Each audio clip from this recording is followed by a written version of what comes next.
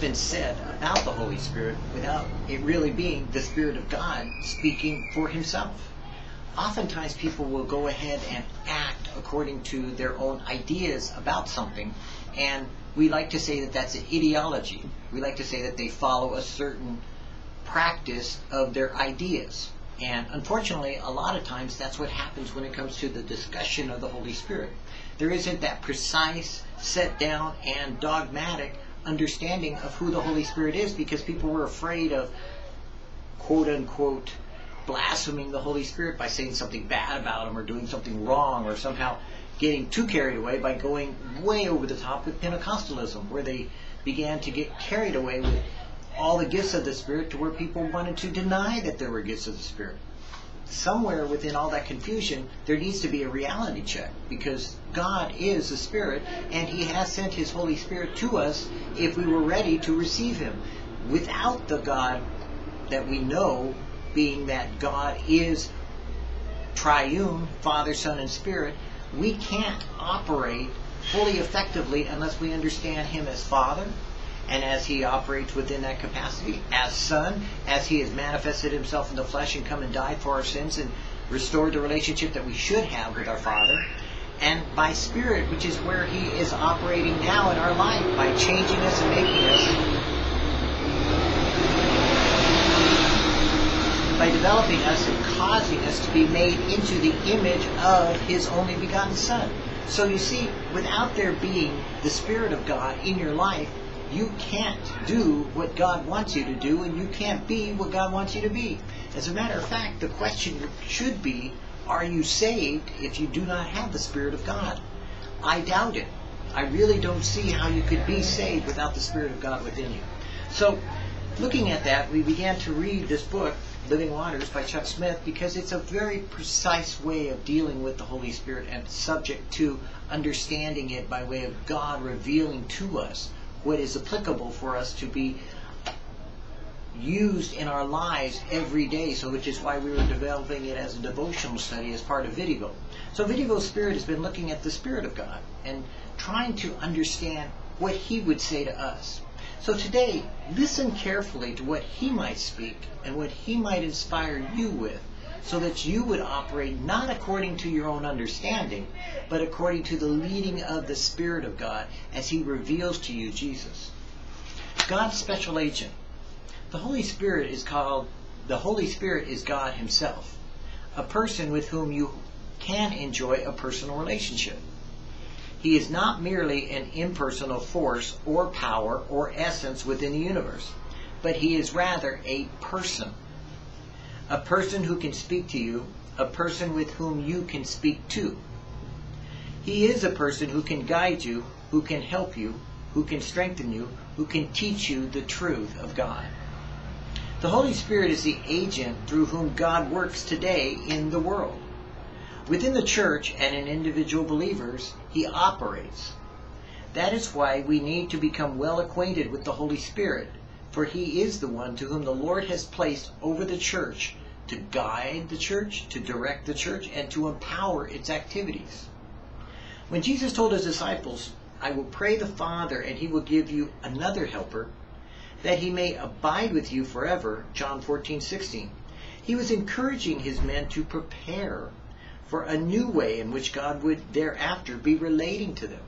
God would manifest himself in a new and unique way. The new way, but not a totally foreign way.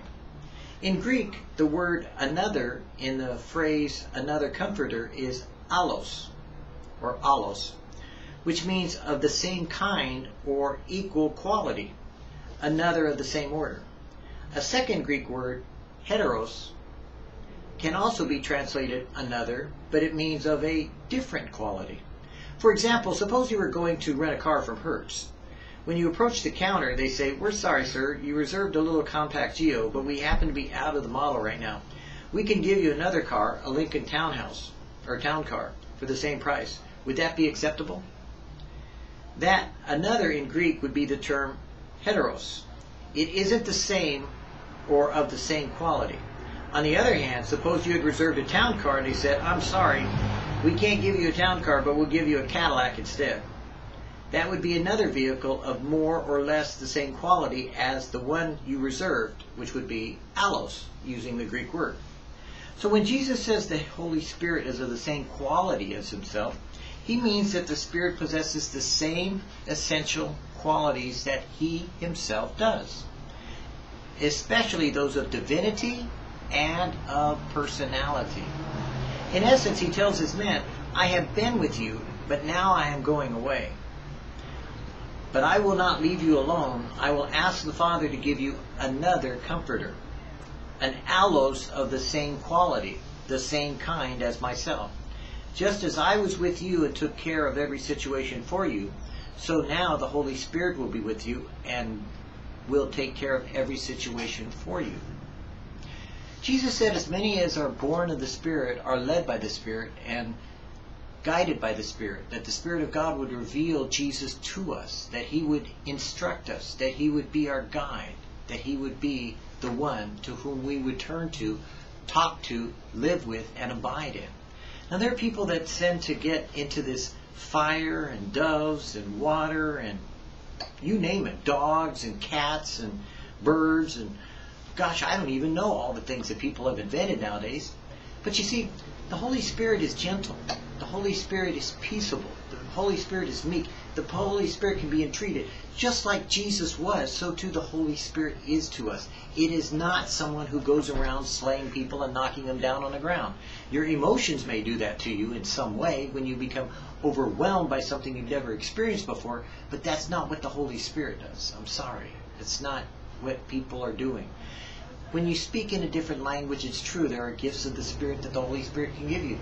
But those are things that will be understood as we read about them, as you begin to understand, and as the Holy Spirit begins to operate in your life to give you a way of understanding, that it would be acceptable without it being some kind of, you know, kind of TV program that you've seen where people act all weird and strange. That's not how God operates.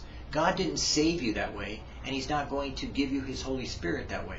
He's going to be blessing you by giving you a comforter, by giving you someone who is just as meek and as tender as Jesus was, but who can also be as gloriously transformed even as the Son of God was on the Mount of Transfiguration.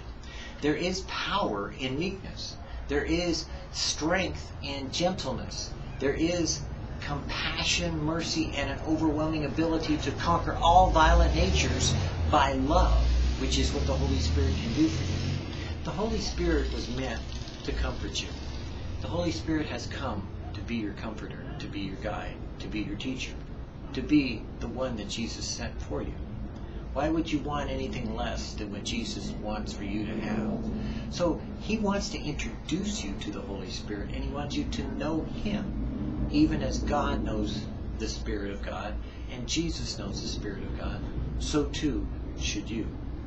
Father, I pray that you would continue to reveal to us who your Spirit is, that as you have guided us and abided with us when you were living here on earth, and then you left us, God, you did not leave us as orphans, but you sent us your Spirit, that he should reveal to us who he is. And as we talk to him, and as we walk with him, as we know him, we would see Jesus.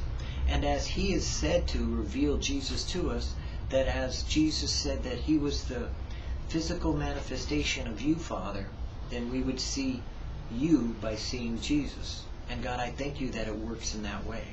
For surely as you reveal all of these things to us, God, we can be knowledgeable of the workings of your Godhead in our life as you make us empowered and able to live in this world as we approach this last generation that we live in, as we become that light in the darkness, as we become shining even more so as we see the day of salvation coming ever closer.